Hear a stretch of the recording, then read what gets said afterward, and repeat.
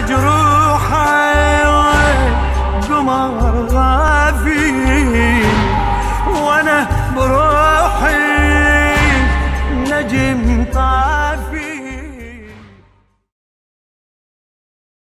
صلى الله عليك يا سيدي ويا مولاي. يا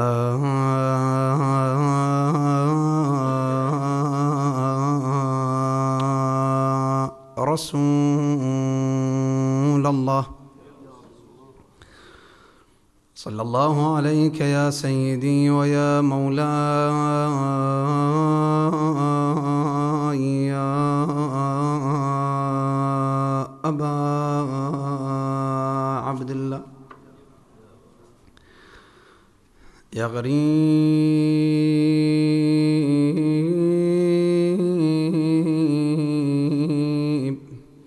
يا مظنون.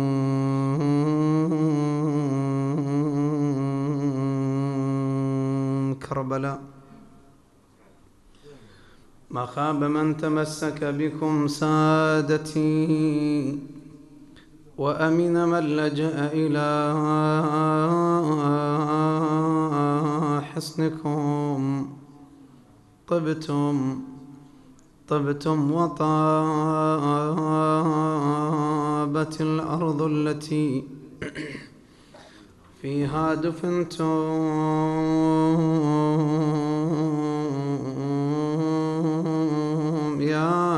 ليتنا كنا معكم.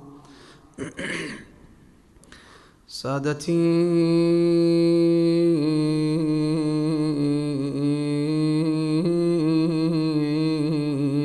فنفوز فوزا عظيما.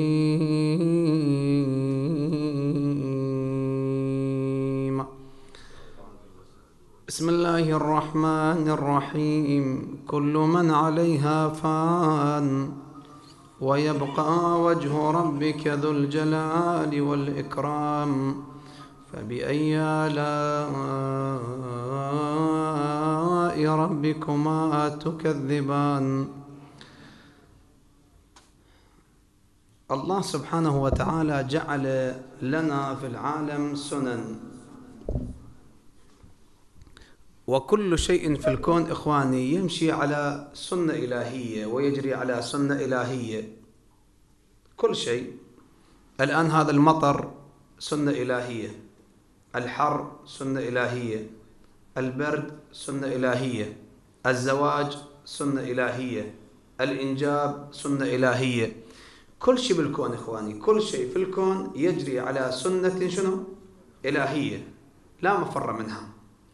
هذه السنن الإلهية الكثة والكثيرة تنقسم قسمين. توجهني للمقدمة خاطر أنا أدخل بالآية إن شاء الله.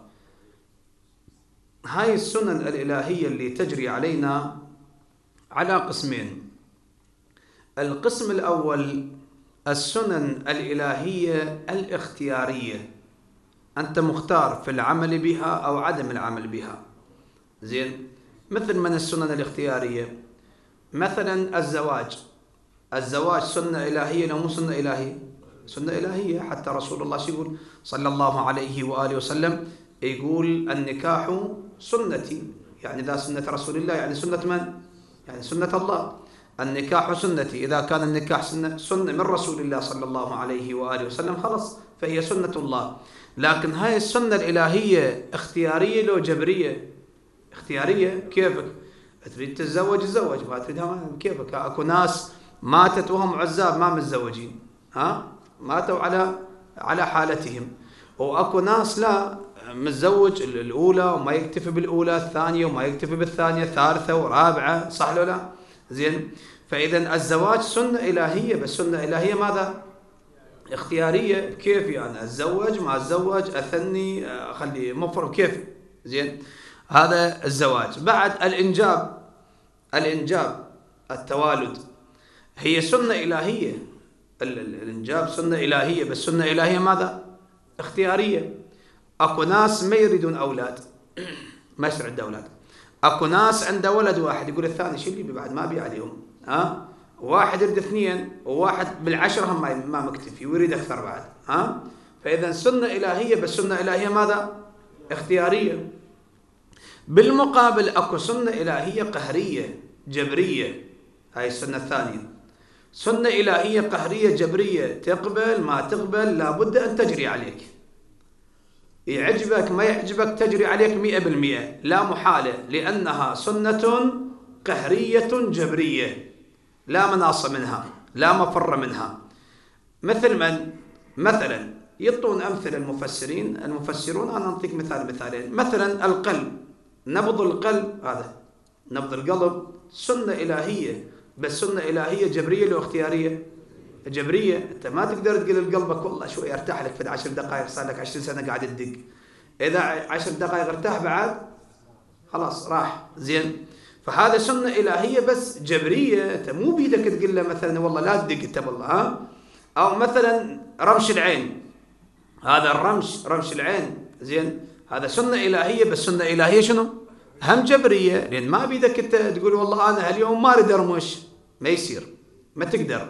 زين. لأن قهرا جبرا يجري عليك. من جملة السنن الإلهية الجبرية القهرية يا الموت. الموت سنة. مثل الولادة. شلون الولادة؟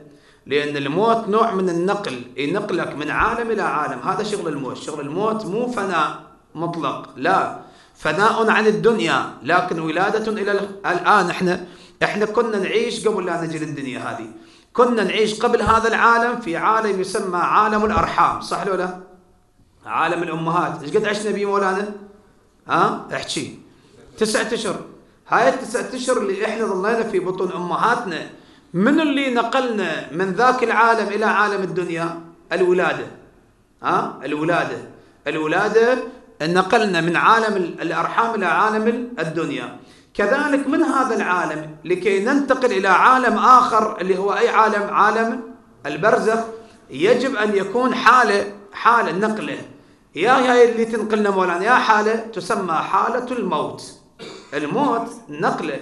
إيه نقلك من عالم إلى عالم. خلاص يعني الموت ما قاعد يفنيك. ها ما قاعد لا يعدم. الوجود. لا لا إنما يعطيك وجودا خالدا. يعطيك وجود أطول أكبر أسمى ها خلود. هذا الموت ينقلك من عالم الدنيا إلى عالم الآخرة. بس هذا الموت سنة إلهية مثل الولادة لكن سنة إلهية ماذا؟ جبرية قهرية. ليش؟ ليش جبرية؟ لأن ماكو واحد يحب الموت. ماكو واحد يحب الموت. زين؟ يا ما ناس هسه إحنا الآن نجرب هاي التجربة ويا الناس القاعدة أنتم بالحسينية. الله وكيلك لو الآن لو أسألكم واحد واحد تحب تموت؟ تحب تموت؟ كله تقول لا علي من أموت هذا زين. ما أريد أموت. حتى لو عمره 90 سنة حتى لو عمره 100 سنة ما يريد يموت. يعني يريد يعيش في حياته الدنيا يقول هذا. هذا في يوم دخلنا في مقبرة صلينا على ميت. فأكو شايب يخاف من الموت واقف يمي. هم توفى.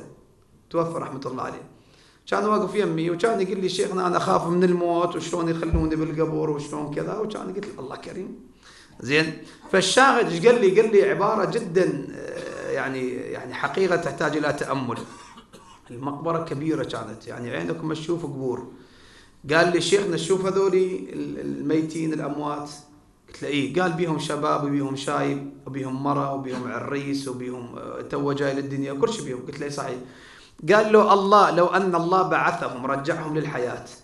أنت أسألهم كلهم ماكو واحد في عالم الدنيا مكمل شغلته. كلهم مخلي شغله نص ونص ورايح. أه؟ واحد قاعد يبني بيته بعد ما خلص البيت جاء له ملك الموت كنس وراح وظل بيته نص ونص. واحد اللي يزوج ابنه قاعد يهيئ الزواج لابنه جاء ملك الموت خذاه وراح. واحد مثلا قاعد يسوي عمل مثلا يركض وراء عمل وراء دوام يروح يداوم. واحد يريد كذا وإذا هاي الناس الموتى كلها ولا واحد منهم أبو سبعين سنة وأبو تسعين سنة وأبو عشرين سنة وأبو عشر سنين كلهم كانوا مشغولين. نص الشغل مشوا وراحوا واضح مولانا فإذا الناس الإنسان عنده طموح دائما دائما عنده عنده طموح بالحياة. ولهذا الله ما خلى الموت اختياري. لو على أساس الموت اختياري عاشوا الأنبياء ويانا أو عاشوا الأوصياء ويانا عاشوا الناس القدماء ويانا اللي كانوا يعيشون في زمان نوح جالس تشوفهم هنا موجودين بعدهم. والقاع تشوف لك شبر ما تلقى لك مكان توقف بيه مو تنام بيه بعد. زين؟ فإذا سنة الحياة هي الموت. ولهذا يوم من الأيام أحد الصحابة آه، مر على أحد آخر. زين؟ هذا آه، قال له كيف أصبحت؟ كيف أصبحت؟ هذا الصحابي سأل ذاك الصحابي. قال له كيف أصبحت؟ قال له أصبحت أكره الحق. أصبحت أي أكره الحق. بعد قال له وأحب الفتنة. هاي اثنين. بعد قال له وأشهد بما لا أرى. شي اللي شايفه هم أشهد عليه. ثلاثة. الرابعة قال له نعم قال له عندي في الأرض ما ليس لله في السماء. هسه هاي الخامسة أصلي بغير وضوء. هذا غير شخص لكن نضيفها. أصلي بغير وضوء. قال له يا حذيفة أنت أنت محسوب. حذيفة بن اليمان كان. هذا حذيفة بن اليمان من خيرة الصحابة من العلماء.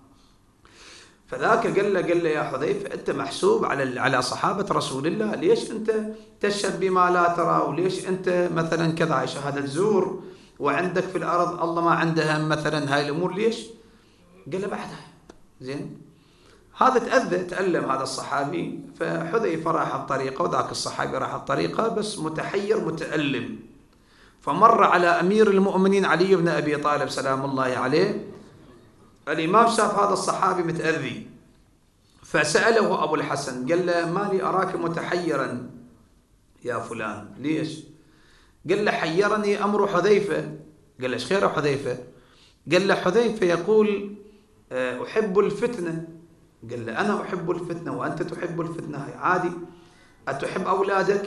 قال له شو ما أحبهم أولادي. تحب أموالك؟ قال له أحب أموالي. قال له خلاص إنما أولادكم وأموالكم شنو؟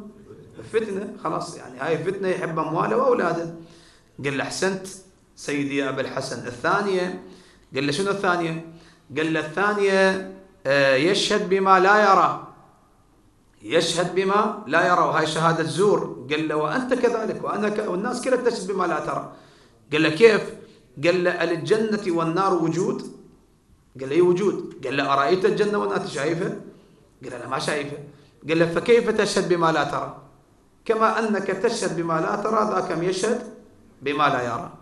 قال له أحسن سيدي يا أبا الحسن عجيب هذا أمير المؤمنين. عجيب والله إخواني هذا هذا الطود العظيم الجبل الشامخ باب مدينة علم رسول الله صلى الله عليه وآله وسلم بحر العلم عجيب علي بن أبي طالب. سلام الله عليه. قال له اثنين الثالثة قال له الثالثة عندي في الأرض ما ليس لله في السماء. قال له وأنا وأنت كذلك. قال له شنو؟ قال له الشريك. الشريك. أنا وياك عندنا زوجة شريكة عمر. عندي شريك بالعمل. عندي شريك في بس الله لا شريك له. أنت تصلي صلاة الميت؟ من نصلي صلاة الميت؟ شو تصلي أول تكبير؟ ها؟ تقول أشهد أن لا إله إلا الله. إلها واحدا أحدا فردا صمدا حيا قيوما دائما أبدا لم يتخذ صاحبة ولا. ولدا ولم يكن له شريك في الملك ولم يكن له ولي من الذل وكبره تكبيرا. زين؟ قال له الله ما له شريك بس إحنا البشر شنو عندنا؟ عندنا شركاء ها؟ قال له أحسنت. إيش قصرا ثلاثة.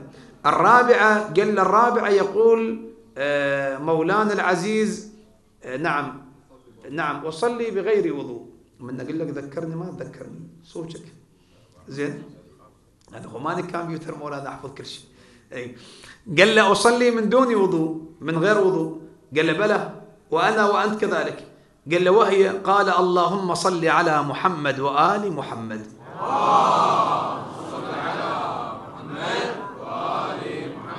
وكذلك عندنا ماذا؟ عندنا صلاة الميت لا تحتاج إلى وضوء يستحب فيها الوضوء. زين. بعد الخامسة والأخيرة الخامسة والأخيرة قال بالنسبة إلى ماذا كان؟ ما شاء الله. أكره الحق. زين. قال له أكره الحق. قال له وأنا وأنت وكل إنسان قال له ما هو؟ قال له أوليس الموت حق. قال له بلى الموت حق. قال له أتحب أن تموت؟ قال له لا ما أريد أموت. قال له إذن الموت حق وأنت تكره الموت. ولهذا أنت تلقن الميت في آخر تلقين إلى شو تقول له تقول له اسمع وافهم يا فلان ابن فلان أن الله سبحانه وتعالى نعم الرب.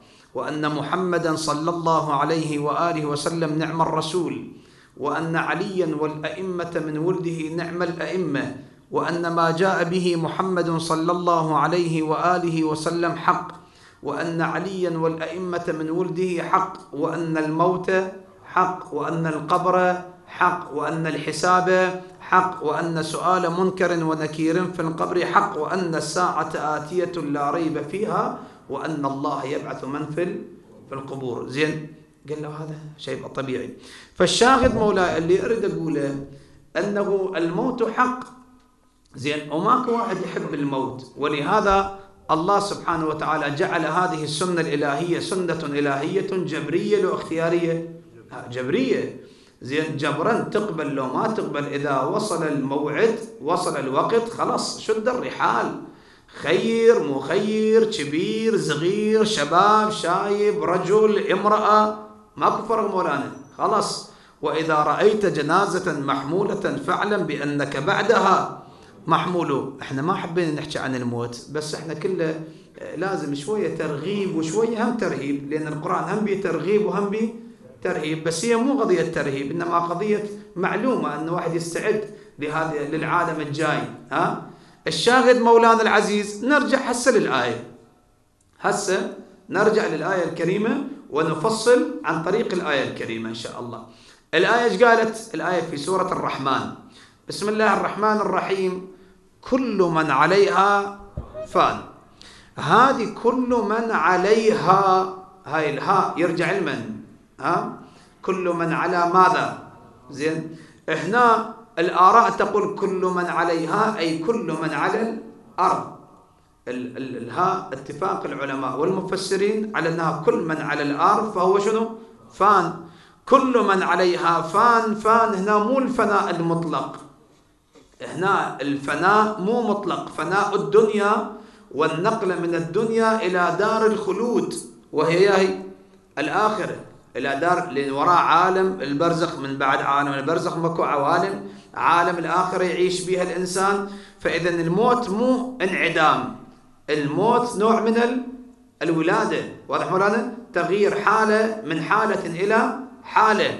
ويختلف الموت من شخص إلى شخص. واحد تشوفه يتأذى يتألم. واحد مثلكم أنتم المؤمنين. لا. ما يتألم. الإمام السجاد عليه السلام قالوا له سيدي نخاف من الموت صف لنا الموت. شلون الموت؟ إيش قال لهم الإمام؟ شوف الكلام إيش قد راقي.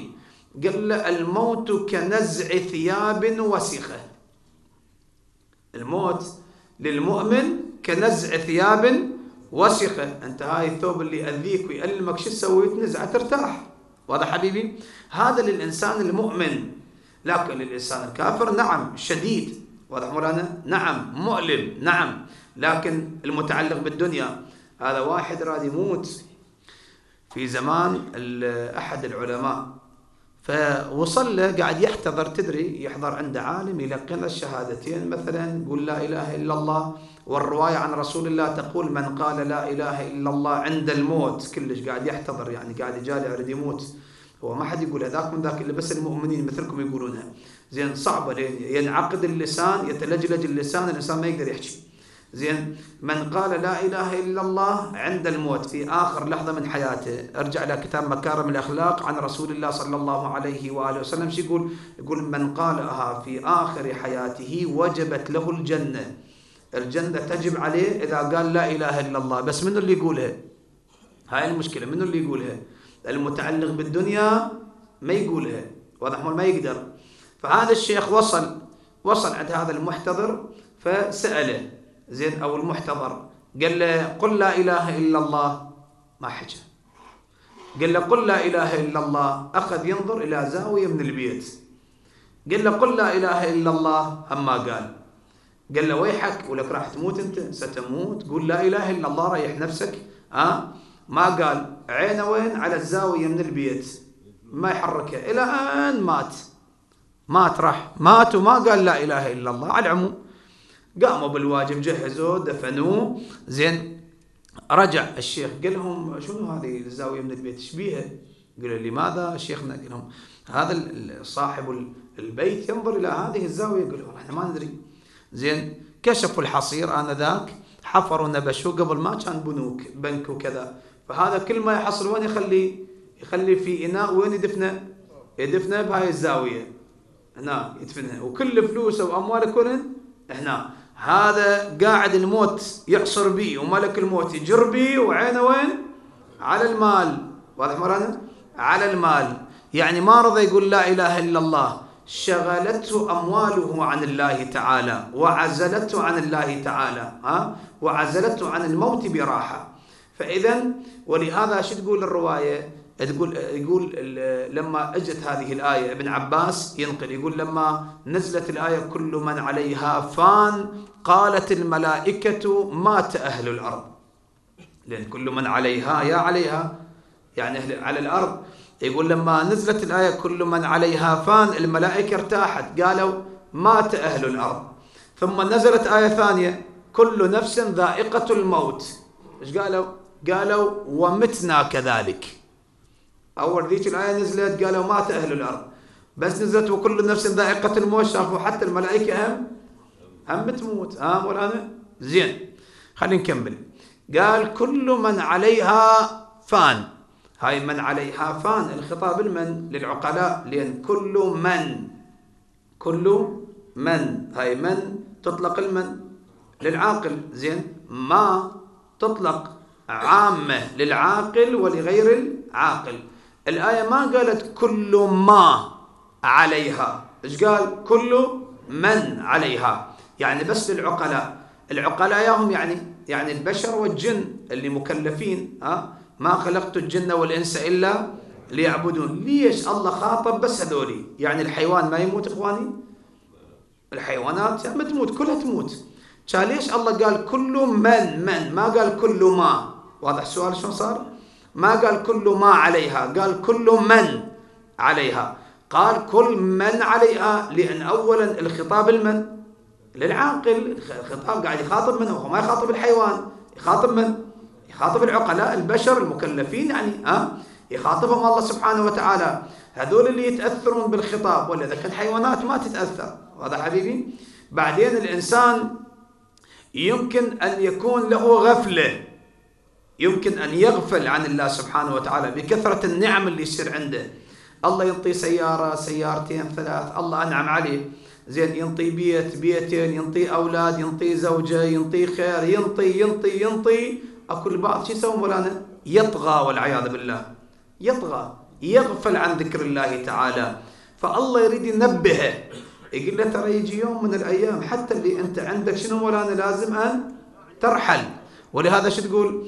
تقول كل من عليها فان. بعد يا يبقى ويبقى وجه ربك. ذو الجلال. زين الله عنده وجه إخواني؟ كان ليش قال وجه ربك؟ ها هو تعرفون الوجه شنو؟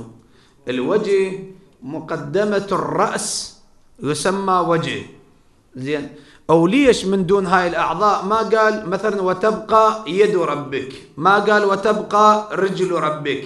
ها؟ لأن كثير من الآيات تعبر لله بمن باليد صح ولا لا؟ مثلا آية شو تقول؟ يد الله.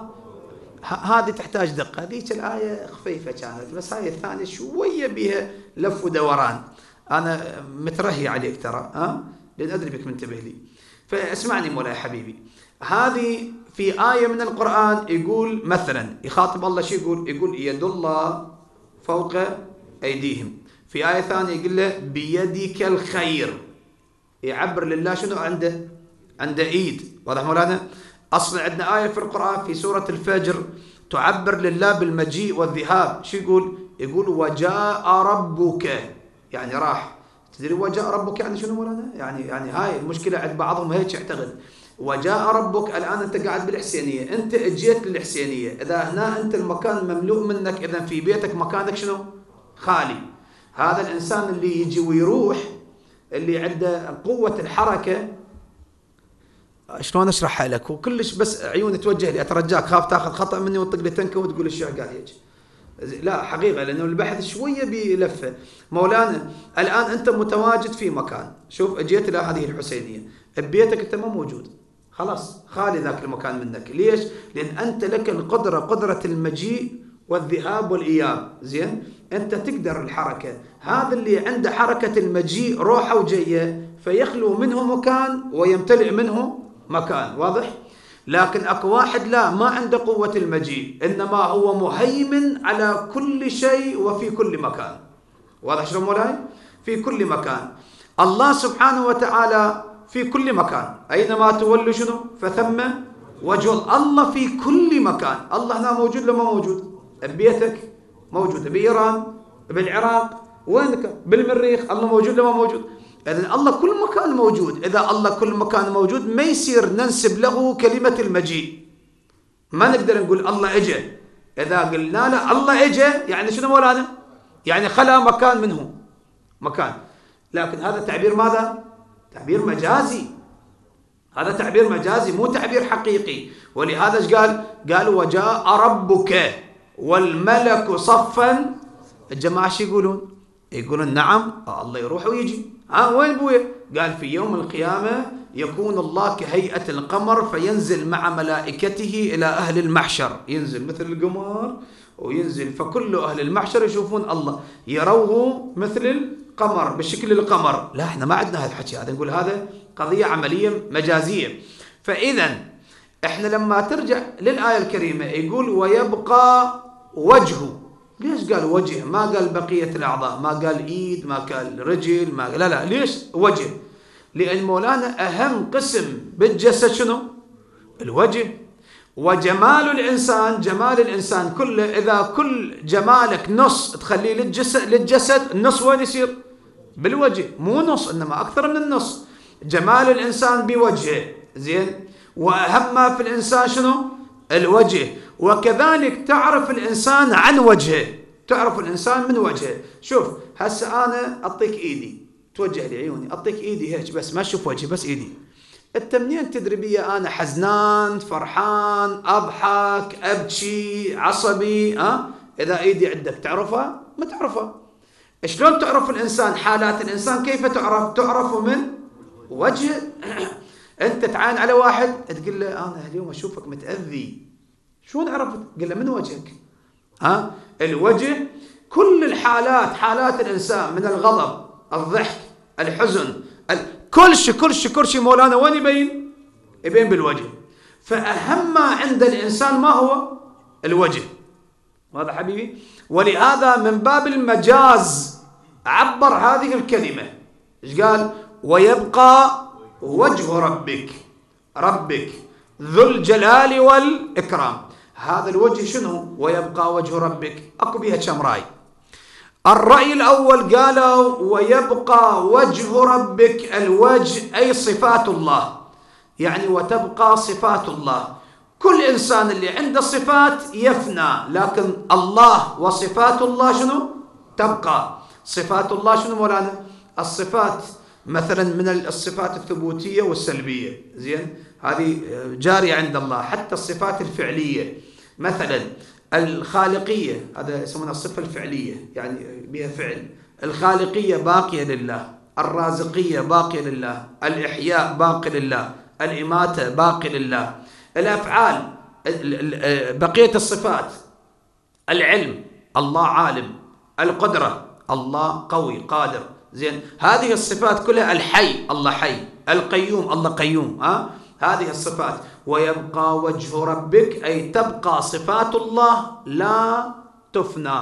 كل شيء يفنى إلا صفاته. ويبقى وجه ربك يعني شنو مولانا يبقى؟ تبقى صفات الله. هذا رأي. الرأي الثاني قالوا لا الرأي الثاني اللي هو الرأي تقريبا عليه الأكثر. زين؟ أنا ما أيد رايي أنا ما أيد أنا مو شغلتي ترى أيد واحد يتصل علي أو وحدة أو مثلا شخص أو كذا في كل مكان يقول لي شيخنا أنت مثلا ذكرت هذا الرأي. زين أنا ذكرته بس مو معناه أنه أنا أيده. أنا رجال ناقم ناقل صح أتعب وأحضر وأحفظ وكذا لكن أنا ما أيد رأي. هاي آراء العلماء هاي العلماء هيك يقولون وهاي العلماء هيك يقولون واضح مولانا؟ مو معناها أنه أنا أيد. زين لا إنما نحن نعطي الآراء زين ونعطي أدلة العلماء في ذلك الرأي الثاني ويبقى وجه ربك قال لا الوجه هو الذات الإلهية المقدسة أن الله سبحانه وتعالى يبقى ذاته فالله سرمديا أبدي سرمدي أبدي تعرف السرمد والأبد شنو؟ ها؟ السرمد والأبد السرمد يعني كان قبل أن يكون شيء أبدي يكون بعدما يفنى كل شيء. واضح مولانا؟ فالله هم سرمدي وهم أبدي. واضح مولانا شلون صار؟ فهذا معناه ويبقى وجه ربك أي يبقى ذات الله تعالى. بس الله يظل كلها تموت. زين؟ كم رأي صار؟ رأيين. الرأي الثالث جدا جميل. الرأي الثالث من الأئمة المعصومين سلام الله عليهم. شو يقول؟ يقول ويبقى وجه ربك أي يبقى دين ربك. هنا الوجه بمعنى ماذا؟ بمعنى الدين. يعني كل الأديان تفنى. كل الأديان شنو؟ تفنى. ويبقى وجه ربك يعني ويبقى دين ربك. ها؟ يريدون ليطفئوا نور الله بأفواههم. والله متم نوره. واضح مولانا إذا نور الله ووجه الله اللي هو دين الله لا يفنى كل الأديان تفنى هذا الدين يبقى هذا مراي كم رأي صار؟ ثلاث الرأي الرابع والأخير إن شاء الله. الرأي الرابع قالوا لا ويبقى وجه ربك أي الأعمال التي توصلك إلى ربك. الأعمال اللي توصلك إلى الله شو يسمونها؟ وجه الله. ياغن الأعمال الصالحة. إذا كل أعمالك تفنى بس الأعمال الصالحة لا تفنى ها؟ تبقى الله سبحانه وتعالى يزيدك ويجازيك في ذلك. واضح مولانا؟ زين. ويبقى وجه ربك ذو الجلال والإكرام. الجلال والإكرام الصفات الجلالية والصفات المولانا الإكرامية بالأحرى أن نقول. شنو الجلالية؟ الجلالية يعني جل الله عنها. يعني الله يجل. مثلا آه، أنت تحكي لك حكاية مثلا تقول أجل السامع صح ولا لا؟ أجل الحضور يعني آه، تكرمون يعني واضح مولانا؟ فهذا أجل السامع ذو الجلال الجلال يعني الصفات التي جل الله عنها بعيد عن الله. مو بثوب الله مثل من؟ مثل العجز بعيد عن الله. الفقر جل الله عن الفقر جل الله عن العجز. جل الله عن مثلا الصغر جل الله عن هذه الأمور يعني ها؟ كل ما فيه منقص ونقصان وما وما لا يليق بذات الله وجلاله زين؟ إحنا نجل الله عنها. فيقولوا له التسبيح سبحان الله زين؟ الإكرام لا نسبة الصفات لله تعالى. ما يليق لله ننسبه إلى الله وهو الحمد الحمد لله. سبحان ربي الأعلى سبحان ربي العظيم. هذا التسبيح ماذا؟ التسبيح الصفات الجلالية جل الله عنها. لكن بالمقابل التكريم شنو مولانا؟ التكريم أي إعطاء ما يليق بالله وهو الحمد. مثل الله قادر الله عالم الله حي الله قيوم الله رحمن الله رحيم الله رؤوف الله ودود. هاي الصفات اللي تنسب إلى الله تعالى. زين هسه هاي بيها ربط بآل البيت؟ لو ما بيها ربط بآل البيت الآية. إي بيها ربط بآل البيت. أنا جايب لك رواية. زين؟ جايب لك رواية نعم عن الإمام الرضا عليه السلام. يسأله أبو صلت الهروي. تعرفون أبو صلت الهروي؟ أبو صلت الهروي من أصحاب الإمام الرضا عليه السلام. الرواية موجودة في كتاب عيون أخبار الإمام الرضا عليه السلام. زين؟ أبو صلت يسأل الإمام. السؤال جدا جميل إخواني وجدا الجواب أجمل. اسمع شنو ربط الآية بآل البيت سلام الله عليهم؟ يقول أبو صلت سألت الإمام الرضا قلت له يا ابن رسول الله ما معنى الخبر الذي رووه يقول أنا سمعت خبر راوينا شنو؟ أن ثواب لا إله إلا الله النظر إلى وجه الله. عندنا من قال لا إله إلا الله نظر إلى وجه الله. قال شلون يعني واحد يعين على وجه الله؟ شلون يعني؟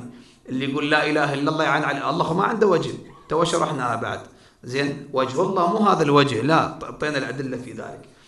إيش قال للإمام سلام الله عليه؟ شوف الجواب أروع. الجواب أروع من السؤال. قال له يا أبا صلت.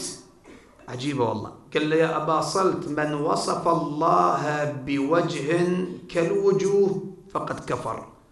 اللي يصف الله أن الله عنده وجه مثل هذه الوجوه شنو هذا؟ أنتم تتذكرون تفسير الآية هنا فسرتها الله نور السماوات والأرض ها؟ قلت لك الله نور وهذا نور والشمس بها نور. هل نور الله كهذا النور؟ هذا النور محدود. شوف ينور لك مساحة معينة بعد أكثر منها ما يقدر. وهذا النور محدود. يجي يوم من الأيام شو يصير؟ يطفى. واضح مولانا الله نور وهذا نور أكو فرق بين هذا النور وهذا النور؟ طيب واي فرق شاسع بين هذا النور وذاك النور. نور الله شيء وهذا الأنوار هذه. فإذا نوره الله مدبر النور. الله خالق النور. الله منور النور. الله نور النور. الله كلها هاي. الله إذا نور الله غيرها. الله نور صح بس هذا مو مثل هذه الانوار إذا الله يقولون ويبقى وجه ربك. لا وجه الله مو كبقية الوجوه مو هذا الوجه اللي إحنا قاعدين نشوفه الآن وجوه البشر. شو يقول الإمام سلام الله عليه؟ نكمل الرواية. قال له يا أبا صلت من وصف الله بوجه كالوجوه فقد كفر. قال له سيدي إذا شنو وجه الله؟ حاضرين؟ لو مو حاضرين أقول لك شنو وجه الله. الإمام رضي يقول طبعا شرحناها إحنا بس هاي الرواية حلوة. شنو وجه الله؟ قال ولكن وجه الله أنبياؤه وحججه ومحمد وآل محمد.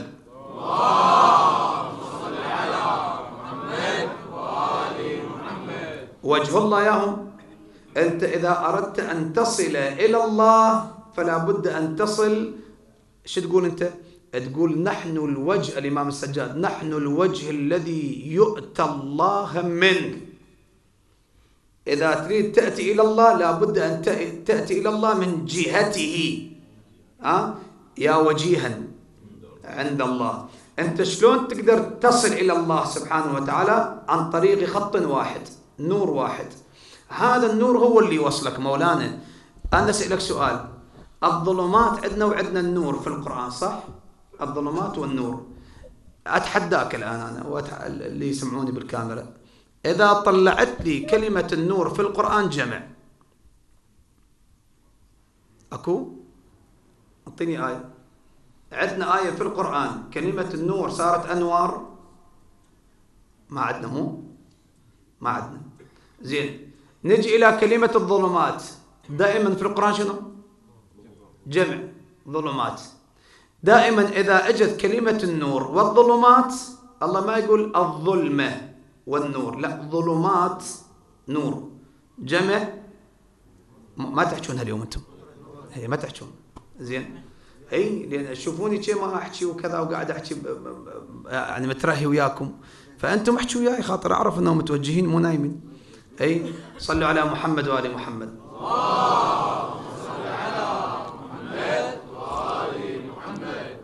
الآن الظلمات دائما جمع لما تقارن بالنور. النور واحد والظلمات جمع. ليش؟ لأن الظلمات سبل الشيطان والنور سبيل إلى الله تعالى. السبيل إلى الشيطان متعدد كثير جدا كثير. اللي يريد الشيطان يقدر من كل طريق يطب على الشيطان. لكن اللي يريد الله طريق واحد نور واحد ماكو غيره. ما لا تدور لا تتعب لا تتعب. ولهذا 73 فرقة. 73 فرقة كلها لا تدلك إلى الله إلا فرقة. خلاص نور هو واحد هو نور واحد. لا تدور لا تتعب ولا تدوخ نفسك مولانا نور واحد. كون تتبع هذا النور توصل إلى الله. إذا رحت من غير هذا النور وتحسب أنه توصل إلى الله فأنت على خطأ. زين؟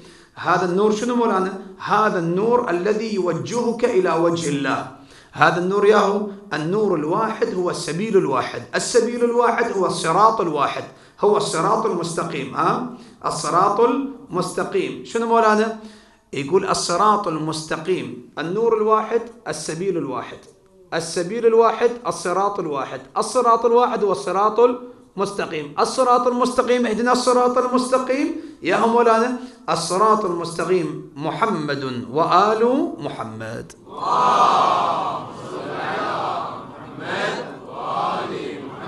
هسه خليني أكمل لك الرواية. يقول ولكن وجه الله أنبياؤه وحججه الذين بهم يتوجه أو يتوجه إلى الله وإلى دينه ومعرفته ثم قال الإمام الرضا ثم قرأ هذه الآية بسم الله الرحمن الرحيم كل من عليها فان ويبقى وجه ربك. واضح مولانا؟ فإذا وجه الله حسب هذه الرواية هم وجه الله هم آل البيت صلوات الله وسلامه عليهم أجمعين. ولهذا تجد الأديان كل الأديان بشرت بالنبي الأعظم وبأهل بيت النبي. حتى عيسى ابن مريم عليه السلام مبشرا برسول يأتي من بعده اسمه أحمد. حتى اسم علي بن أبي طالب أحد الإخوة أحد إحدى الأخوات الله يحفظها ويستر عليها إن شاء الله يوفقها لكل خير إن شاء الله. أمس راسلتنا فسألت سؤال جدا أعجبني بصراحة يعني شهادة يعني شهادة حق. زين السؤال جدا كان راقي ومؤدب بشكل وبطريقة جميلة سئلت. هذا مولانا سألت أن اسم علي بن أبي طالب سلام الله عليه موجود في كثير يعني في الإنجيل اسمه إيليا مثلا ها؟ في الزبور برية مثلا. لما تجي للصحف نجية تجي إلى القرآن عليا. إذا اسم علي بن أبي طالب في القرآن في كثير أو في الكتب السماوية مذكور. هل معناه أن علي بن أبي طالب كان في كل زمان بشخصيات أو بأشخاص تختلف ها؟ يعني علي بن أبي طالب كان في زمن النبي اسمه كان علي. أكو في زمن النبي عيسى واحد اسمه ايليا ايليا اللي هو ياهو الإمام علي عليه السلام. يعني الإمام علي كان في كل زمان حاضر ها؟ لو لا شنو المقصد من ذكر الاسم؟ لا المقصد نعم علي بن أبي طالب بالشخصية وبالروح والنور كان موجود خلال الأزمنة لكن ما كان بالجسد والشخص. إنما هذه اسمه ايليا واسمه كذا مثلا نجية أو برية أو أرية مثلا آه واسمه في القرآن عليا. إنما هذه الأديان وهذه الكتب تبشر بمجيء وصي من الأوصياء وهو سيد الناس بعد رسول الله. اسمه في الإنجيل وفي التوراة وفي الصحف وفي الزبور اريا نجية برية مثلا ايليا وفي القرآن اسمه عليا. اللهم صل على محمد. كما بشرت بمجيء رسول الله بشرت بمجيء من؟ علي بن أبي طالب صلوات الله وسلامه عليه. فهذه ذكر أسماء علي عليه السلام من باب التبشير لمجيء الإمام علي عليه السلام بس مذكور بلغتهم هذا الاسم مثلا. فيقول الإمام علي عليه السلام إذا شفت في القرآن ايليا أو في الإنجيل ايليا أنا ايليا إذا سمعت مثلا أو قرأت في الزبور بريا أنا بريا مثلا. ها أه؟ اريد يقول لك أنا هو.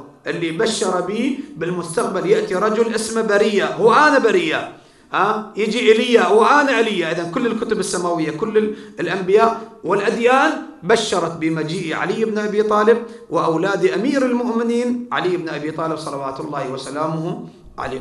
هذه العظمة تدل وهذه الإشارة تدل على عظمة آل البيت وعظمة علي بن أبي طالب وأولاد أمير المؤمنين صلوات الله وسلامه عليه. هذا اليوم هو من أعظم الأيام على آل البيت وعلى الحسين صلوات الله وسلامه عليه. أكو قضية صارت مثل اليوم أكو قضية صارت في دفن الأجساد. لما حركت حرك الظعن والسبايا طلعوهم وخذوهم. تدرون بالطريق بالطريق وهو يمشون مخلئين الروس على رماح ومخلين رأس الحسين أول السبايا وراس العباس آخر السبايا. سلام الله عليهما. وهم ماخذين الرأس الشريف في الصحراء. يقول أكو هذا حامل الرأس الشريف أكو عبد لعمر بن سعد يحمل الرأس. يقول كنا نستضيء في الليلة الظلماء في الليلة الظلماء في الصحراء نستضيء بنور يخرج من رأس الحسين ومن وجه الحسين فينير لنا الطريق والصحراء. يقول نشوف هذا النور من وجه الحسين عليه السلام. يقول إحنا ماشيين بالطريق ها؟ يقول بينما نحن في طريق الكوفة من طريق كربلاء إلى الكوفة يقول فركز الرمح الذي عليه رأس الحسين. ركز يعني وقف هيك وقف. زين. أراد العبد أن يحرك الرأس الشريف. كلما أراد أن يحرك رأس الحسين ما تحرك. كلما سعى أراد أن يحرك رأس الحسين ما تحرك. اجتمعت الرجال أرادوا أن يحركوا رأس الحسين ما تحرك. أكثر توافدوا ها؟ لكن ما تحرك رأس الحسين عليه السلام. إجوا إلى عمر بن سعد أيها الأمير رأس الحسين ارتكز على الأرض ولم يتحرك. وحاولنا أن نحرك رأس الشريف رأس الحسين عليه السلام ما تحرك. قالوا اسألوا الإمام زين العابدين. اسألوا الإمام أكو سر من الأسرار. هم يعرفون آل البيت يعرفون عظمة أهل البيت سلام الله عليهم. وصلوا إلى الإمام السجاد ابن رسول الله. هذا الخبر يقول بكى الإمام لا إراديا بل يبكي الإمام سلام الله عليه. تبكي يا ابن الزهراء. قال لعل طفل طفلا أو طفلة للحسين سقطت من الناقة أكو طفل للحسين أو طفلة طايحة من الناقة ولم ترجعوا إليها. طفلة للحسين طايحة. شوف هم ما يراعون أطفال الحسين بس الرأس الشريف على الرمح ويرعى يتاماه وأطفاله. دوروا يمين شمالها لقوا مولانا طفلة للحسين طايحة اسمها رقية طايحة من الناقة تدري ناقة وعدوان وضرب وشتيم وكذا. وذابحين أهلها وهي صغيرة عمرها ثلاث سنوات طايحة من الناقة. فتاركينها مولانا ورايحين محرك الضعن هي باشية راكضة وطفلة صغيرة. لا تستطيع الركض على الصحراء مولاي والصحراء حارقة حارة. فطايحة السيدة رقية ها؟ قالوا له أين نجد أختك؟ وين نلقاها سيدي؟ قال لهم انظروا إلى رأس والدي الحسين. شوفوا وين يعاين وين الرأس؟ متجه إلى حيث ما اتجه الرأس هناك أختها يقول نظروا إلى جهة الرأس شافوا جهة الرأس ينظر إلى جهة معينة. يقول رجعوا ورجعوا ورجعوا وشافوا رقية نائمة على الرمال. نايمة على الرمال مولانا طفلة صغيرة من شدة البكاء والألم والفراق نايمة على الرمال. ها شلون قعدوها؟ عندك بنية صغيرة لو لا تقعدها تمسح على راسها تشيلها بابا بنيتي حبيبتي قعدي تعطيها ماي سكن عليها. هاي البنية اليتيمة هاي حالها. يقول رفسها أحدهم برجله في أضلاعها. طقها بأضلاعها يقول بس فكت عينها. بس فكت عينها صاحت أبا حسين. ضربوني. أبا حسين شتموني.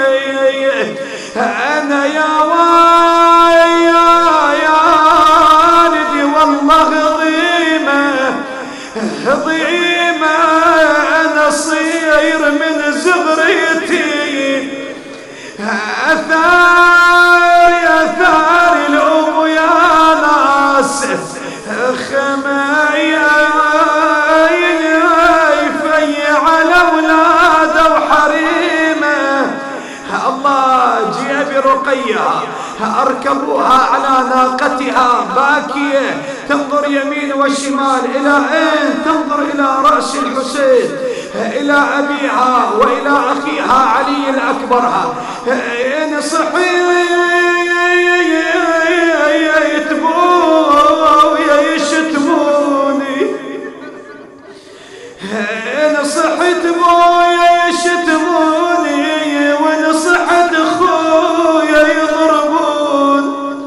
أنا يضربوني. عقبكم يا هلي عمل يقول أجت الحوراء زينب ها أجت الحوراء زينب ضمتها إلى صدرها مسحت على رأس رقيه لكن الصوت على متن رقيها. وعلى متن الحوراء زينب سلام الله عليها. هذا الذي علم علم الحسين. شنو اللي علم الحسين؟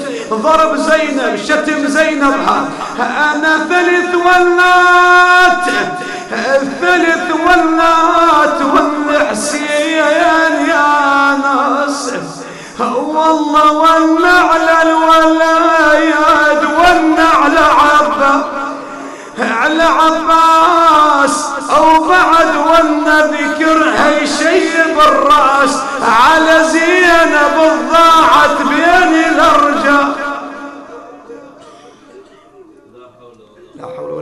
إلا بالله العلي العظيم إنا لله وإنا إليه راجعون. اللهم نسألك وندعوك شافي وعافي كل مريض. يا الله اقضي حوائج المحتاجين بباب الحوائج. موسى بن جعفر يا الله اللهم عجل في فرج المولى صاحب العصر والزمان وإلى أمواتنا أمواتكم مؤسسي هذا المأتم الفاتحة مع الصلوات. على جروحه قمر غافي وأنا بروحي نجم طار